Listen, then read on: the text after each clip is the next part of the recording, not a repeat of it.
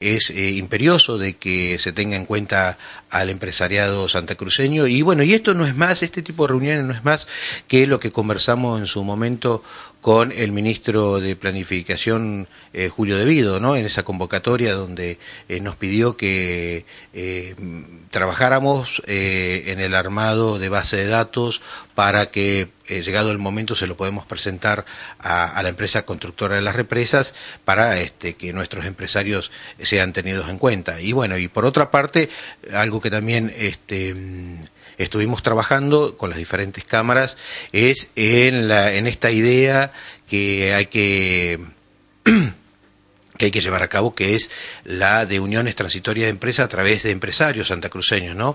O sea, juntar a los de Calafate, a los de Piedrabuena, Río Gallego, Turbio, bueno, para que en la, en la medida este, que cuanto más juntos estemos podamos brindar servicios de calidad y teniendo en cuenta la magnitud de la obra, ¿no? Para que no, no nos quedemos cortos en cierta forma.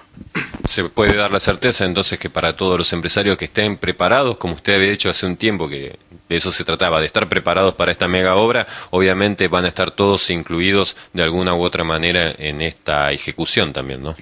Vamos a trabajar para que eso sea. Yo no, no puedo este, dar certeza porque no soy el que voy a contratar. Ojalá, ojalá pusiera, ¿no? Pero vamos a trabajar que así sea. Eh, las puertas están abiertas. Obviamente no es una tarea fácil, ¿sí? Eh, seguramente vamos a seguir manteniendo reuniones. Esto fue un inicio, fue el conocernos, fue intercambiar opiniones. Así están reflejados en todos los medios de comunicación social.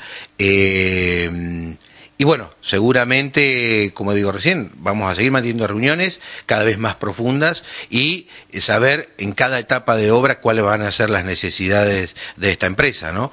Eh, así que bueno, esa es la idea, queremos que todos participen y eh, principalmente, y algo que también quedó eh, aclarado, es el compromiso de que la mano de obra también sea Santa Cruceña y eso es muy importante porque bueno va a traer otro movimiento económico para los, los pueblos cercanos a las obras, ¿no?